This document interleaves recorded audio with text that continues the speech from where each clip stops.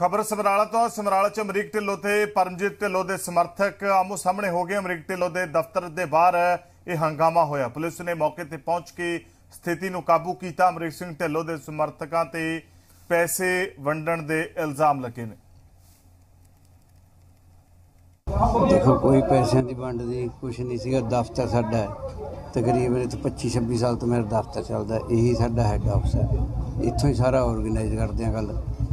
ਕੁਛ ਐਵੇਂ ਸ਼ਰਾਰਤੀ ਬੰਦਿਆਂ ਨੇ ਮਤਲਬ ਸ਼ਰਾਰਤ ਕਰਨ ਦੇ ਬਾਰੇ ਨੇ ਕਰਿਆ, ਕੋਈ ਪੈਸਾ ਨਹੀਂ ਵੰਡਿਆ ਕੁਛ ਨਹੀਂ ਹੋਇਆ ਦੇਖੋ, ਮੈਂ ਤਾਂ ਹੁਣ ਮਾਤਪੁਰ ਸੀਗਾ, ਉਸ ਤੋਂ ਬਾਅਦ ਢੀਂਡਸੇ ਸੀਗਾ, ਫਿਰ ਉਸ ਤੋਂ ਬਾਅਦ ਬਲਾਲੇ ਬਲਾਲੇ ਮੈਨੂੰ ਪਤਾ ਲੱਗਿਆ ਵੀ ਇੱਥੇ ਕੋਈ ਰੌਲਾ ਪੈ ਗਿਆ। ਜਦ ਮੈਂ ਆਇਆ, ਮੇਰੇ ਆਉਣ ਸਾਰਾ ਸ਼ਾਂਤਮਈ ਸੀਗਾ ਇਹਦੇ ਵਿੱਚ ਹੁਣ ਕੰਪਲੇਂਟ ਪਰਮਜੀਤ ਵੱਲੋਂ ਫੋਨ ਆਇਆ ਸੀ, ਉਹਦੇ ਆਧਾਰ ਤੇ ਮੈਂ ਆਇਆ ਸੀ।